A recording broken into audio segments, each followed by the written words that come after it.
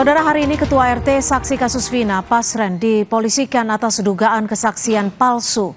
Jejak Pasren dan anaknya menghilang dari desa usai menjadi saksi kasus Vina 8 tahun silam. Ini adalah Ketua RT Pasren dan anaknya yang diikut sertakan polisi dalam rekonstruksi kasus pembunuhan Vina 8 tahun silam dengan lima tersangka Pasren dan anaknya dihadirkan karena keduanya membantah kesaksian lima narapidana yang mengaku tidur di rumah ketua RT saat malam pembunuhan Vina dan Eki. Namun jejak ketua RT dan anaknya menghilang sejak menjadi saksi kasus itu. Jurnalis Kompas TV, Muhammad Syahrir Romdon mencoba menanyakan langsung terkait pelaporan dugaan kesaksian palsu ke Mabes Polri.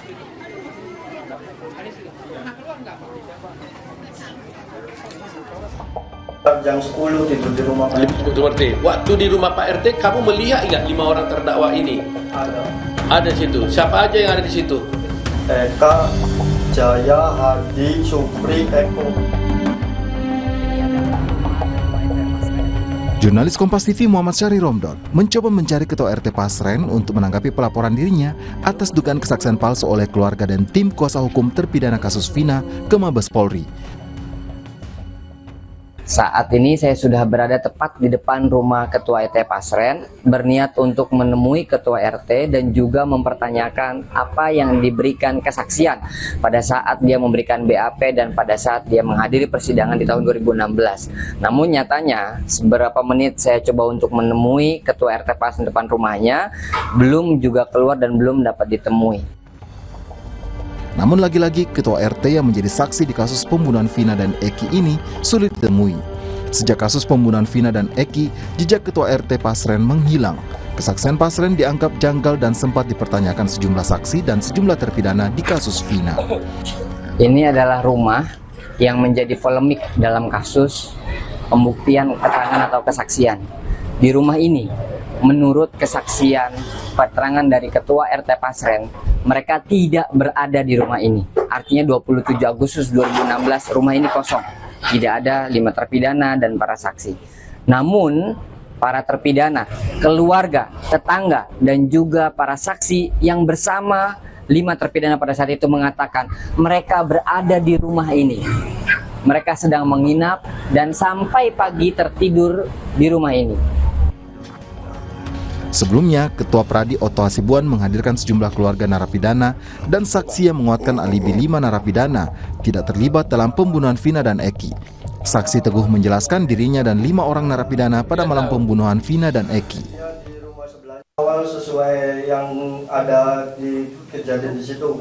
Cuman di apa Teguh nerangin yang sebenarnya malah eh nanti kamu akan terlibat. Jadi seolah-olah Teguh tidak tidur di rumah Pak RT, padahal mah tidur di rumah Pak RT. Anak Pak RT ada di situ nggak? Ada, Tidur di situ. iya, Ditangkap nggak waktu itu dia? kurang tahu tuh, Hmm? kurang tahu. Kalau kata temen mah katanya sempat dibawa, Terus terus dikeluarin lagi. dikurangi lagi.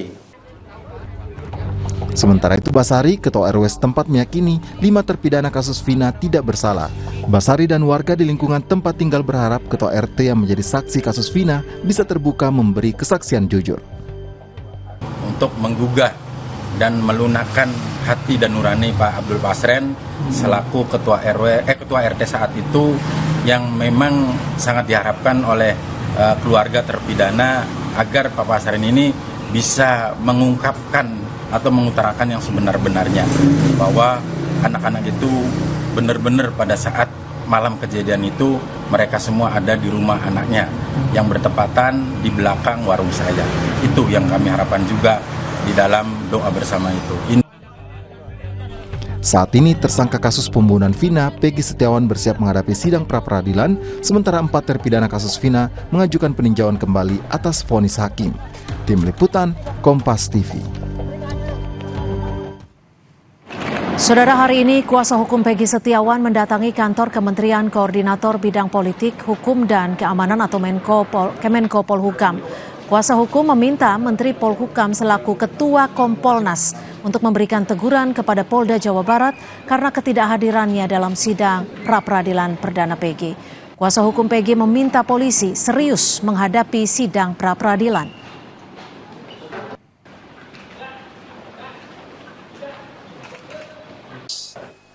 Saya menyampaikan sini saya minta agar dari kan ketua Kompolnas menegur Polda Jawa Barat. Kemarin kan sidang pra peradilan pertama tidak hadir. Nah, kenapa tidak hadir? Maksud saya kan kalau di pra peradilan sendiri dari Polda nggak serius, ya bagaimana? Nah, saya meminta agar jangan sampai ini mindsetnya dari netizen, dari masyarakat ngelihat Polda nggak datang itu kan udah negatif. Saudara di tengah sidang pra-peradilan yang ditunda, kuasa hukum Peggy Setiawan menolak proses rekonstruksi karena yakin Peggy bukan otak pembunuhan Vina. Sementara hari ini pengacara Peggy Setiawan juga melaporkan proses hukum terhadap Peggy di kasus Vina ke sejumlah lembaga untuk meminta pengawasan terhadap kinerja kepolisian. Lantas bagaimana nasib Peggy yang saat ini masih menjalani proses hukum untuk kasus pembunuhan Vina? Kita bahas bersama kuasa hukum Peggy Setiawan, Tony RM, mantan kabar eskrim Komjen Purnawirawan Susno Duaji, dan juga penasihat ahli Kapolri Arianto Sutadi. Terima kasih sudah bergabung bersama kami di Kompas Petang. Saya ke Pak Bung Tony. Bung Tony, ini kuasa hukum Peggy melaporkan ke Kemenko Polhukam. Apa yang ingin dicapai tim kuasa hukum dengan pelaporan ini? Apakah langsung ada jawaban usai pelapor, uh, pelaporan tadi?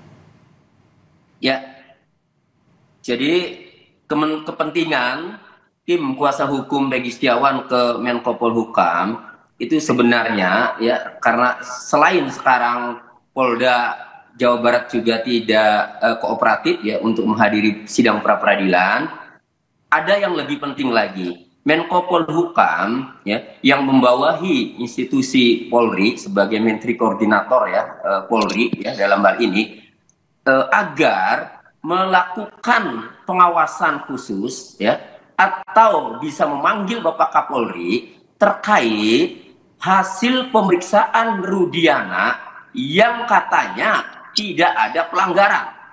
Itu disampaikan oleh Kadif Humas Polri ya mm-hmm. dan hasil dari pemeriksaan Irwasum dan Propam Polri.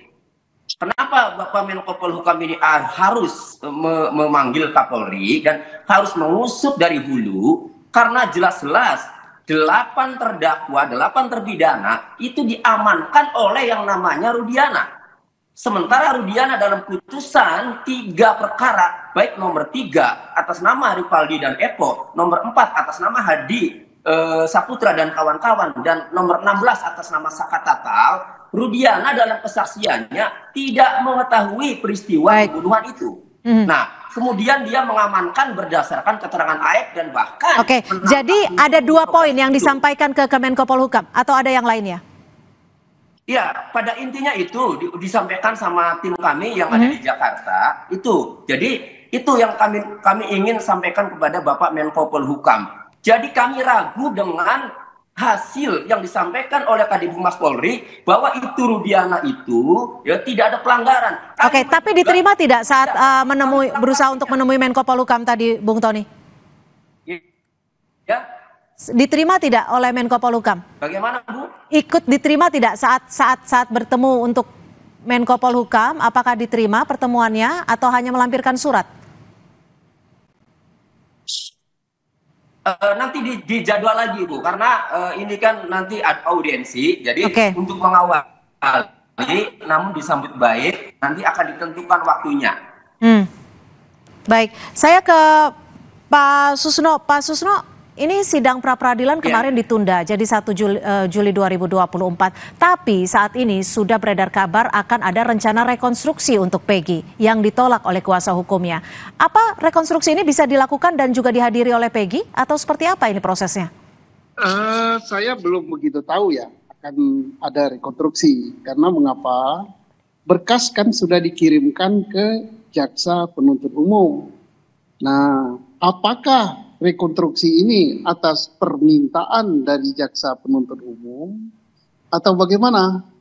Karena kan sudah dianggap selesai pemeriksaan, sudah dilimpahkan kecuali kalau jaksa penuntut umum mengembalikan berkas dengan permintaan agar ada rekonstruksi. atau rekonstruksi sudah ada dahulu tetapi ada kekurangan. Jadi belum pasti ini ada apa tidak rekonstruksi. Kalaupun ada sebelum berkas dikembalikan ini tanda tanya gitu ya. Hmm. Jadi artinya ketika itu bukan dari pihak kejaksaan yang meminta untuk melakukan rekonstruksi, Peggy tidak perlu menghadiri rekonstruksi yang diminta oleh uh, penyidik Polda Jawa Barat karena berkasnya saat ini sudah di kejaksaan. Bukan itu. Kalau soal Peggy menghadiri apa tidak, itu lain persoalan lagi. Jangan dikaitkan dengan berkas. Artinya, tadi kan ditanya akan ada rekonstruksi. Mhm. Maka saya bertanya, kok bisa rekonstruksi? Berkas kan sudah di kejaksaan. Terkecuali berkas itu dikembalikan, namanya P19. Hmm. Karena ada kekurangan. Oke. Nah, baru dilengkapi misalnya kekurangannya itu apa? Kekurangan meriksa saksi, kekurangan tentang rekonstruksi. Nah, itu Oke. harus dilengkapi. Tapi kalau berkas masih di kejaksaan Mhm. Mhm. ada Oke, baik. Eh, saya ke Pak Arianto. Pak Arianto, ini kan dihadapi berbagai ada pra peradilan yang ditunda dan juga ada penolakan jika ada nanti ada rekonstruksi. Apa yang yang yang bisa dilakukan oleh eh, pihak kepolisian menurut Anda ketika keluarga juga eh, mengkhawatir terkait penanganan di Polda Jawa Barat? Kalau dari pandangan saya, kepolisian sekarang Polda Jabar sudah melakukan apa yang ditekankan oleh Bapak Kapolri, yaitu berlaku hati-hati dan kemudian meneruskan proses penyidikan yang sudah dia kerjakan gitu. Nah sekarang tadi penolakan penolakan daripada ini ya, bukan penolakan, Pak, penundaan dia tidak hadir itu. Saya juga tidak tahu ya alasannya apa gitu. Alasannya menurut Kompolnas adalah karena yang Itu ditugaskan Kompolnas itu, tidak bukan.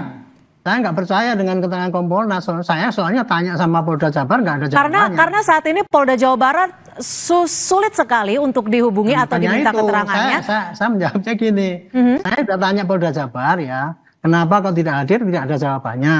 Saya juga mem- mem- memperkirakan ya, kemungkinan dia untuk menjawab pra peradilan itu kurang lengkap sehingga dia melengkapi lagi gitu. Kira-kira itu hanya perkiraan saya ya. Hmm.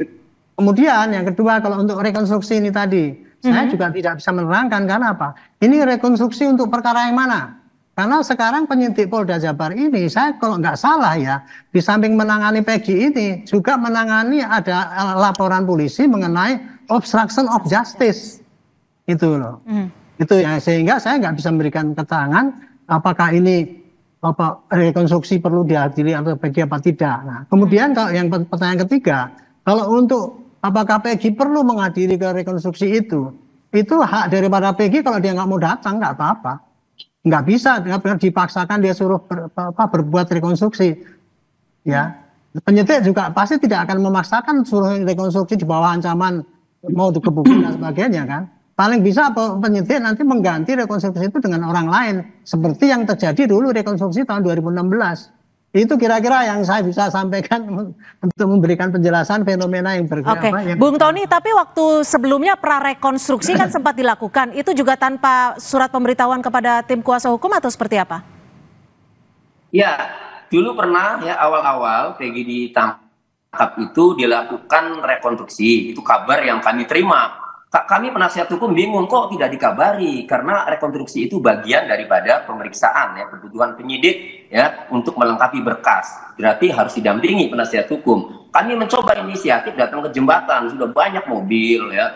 Setelah kami tanya petugas, ternyata itu bukan rekonstruksi, melainkan survei bahasa bahasa anggota polisi saat itu, sehingga belum dilakukan rekonstruksi. Nah kemarin ada kabar, memang katanya mau dilakukan rekonstruksi. Sama juga, kami juga tidak diberi kabar. Cuma ada sikap dari dari tim kami bahwa karena klien kami tidak pernah melakukan eh, perbuatan itu sehingga menolak jika suruh melakukan apa yang tidak ia lakukan. Itu prinsipnya, Bu. Hmm. Eh, Pak Susno, ini kalau terkait dengan eh, penyidikan dilakukan oleh Polda Jabar, ini kan ada kesulitan untuk menghubungi atau kita mendapatkan eh, statement pernyataan resmi dari Polda Jawa Barat. Bahkan tadi Pak Arianto juga menyebutkan kesulitan. Ini seperti apa eh, menurut Anda? Apa yang sebenarnya terjadi di sini? Dari kacamata Anda. Ya, satu mungkin dia lagi sibuk sekali ya. Tetapi ya sebaiknya kalau ada pertanyaan, apalagi yang menanyakan Pak Arianto sebagai staf ahli Kapolri, gitu kan, pengacara atau media, kan masyarakat publik berhak mendapat informasi. Hmm. Penjelasan dari Polda ataupun dari penyidik ataupun dari Polri itu bagus sekali. Kenapa bagus? Karena bisa untuk menepis isu-isu negatif. Lebih bagus Polda Jabar menjelaskan daripada Kompolnas. Karena Kompolnas itu bukan jubirnya Polri. Kompolnas itu adalah pengawas. Ya. Jadi kalau sudah jadi jubir misalnya, membuat alasan, apalagi kalau tidak sesuai dengan apa yang sebenarnya kurang bagus. Jadi ya mudah-mudahan Artinya uh, statement yang diberikan Kompolnas terkait ketidakhadiran penyidik Polda Jawa Barat uh, juga juga belum bisa dipastikan 100% seperti itu ya Pak Susno? bukan belum bisa dikasihkan 100%, bukan wewenangnya Kompolnas. Kompolnas Oke. untuk menjadi jubir menjelaskan itu. Dan Oke. kita mena- Tapi- menanya kepada yang menanya pun salah. Mhm. Kok Tapi- nanyanya ke Kompolnas? Nanyanya ke Polda atau ke Mabes Polri. Karena tidak ada jawaban. Tidak ada ya ke statement. Mabes Polri. Oke. Diberitahu aja tidak ada jawaban. Oke, Pak Pak Susno, tapi kalau dari kacamata Anda, apa sih yang menjadi penyebab penyidik tidak hadir?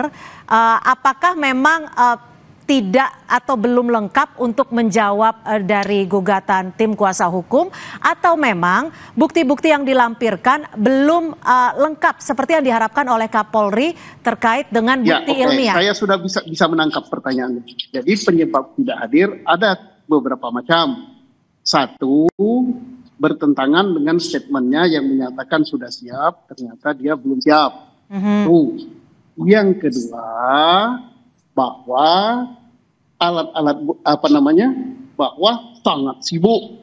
Nah, sebagaimana itu. Yang ketiga, ya taktik, sebagaimana dikatakan netizen ya, taktik bahwa ini mundur waktu, gitu kan, supaya gugur. Tetapi untuk yang poin ketiga ini sangat-sangat tidak mungkin. Kenapa sangat tidak mungkin? Karena berkas yang ada di kejaksaan itu kan bisa sa- memakan waktu dua minggu. Balik ke polisi, balik lagi ke jaksa, baru jaksa masuk lagi ke eh, apa namanya pengadilan, membuat dakwaan. Artinya nggak keburu kalau untuk ngabis waktu.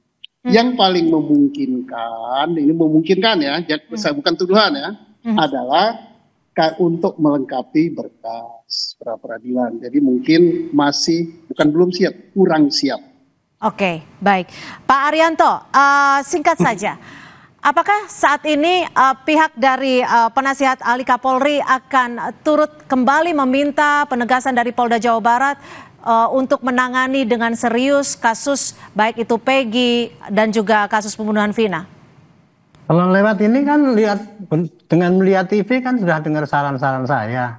Saya sudah menyampaikan saran lewat TV ini. Bagi saya saya hanya mengamati aja ya bahwa kinerja Polda Jabar itu kalau memang itu dasarnya untuk kehati-hatian dan sebagainya, tapi perlu dipertimbangkan juga ketidakpercayaan publik kepada itu. Nah ini strategi yang harus ditempuh oleh Polda Jabar atau Polri secara umum, bagaimana cara menghadapi gejolak masyarakat yang yang be- begini gitu lah. Kerja cepat dan transparan mestinya yang paling bagus kayak gitu. Ini saya udah bekerja gini, begini, begini, begini, hasilnya seperti ini.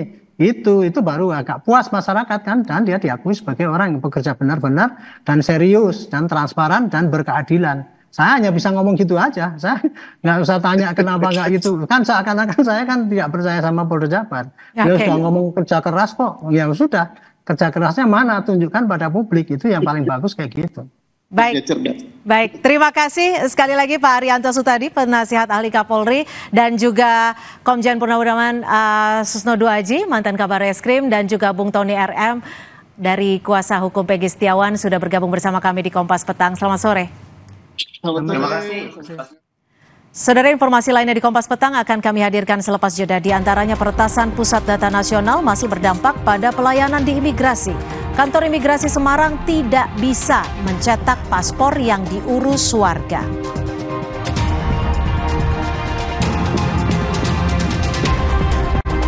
Pencarian buronan Harun Masiku masih bergulir. Menteri Hukum dan HAM Yasona Lauli menegaskan dirinya tidak mengetahui keberadaan buron itu.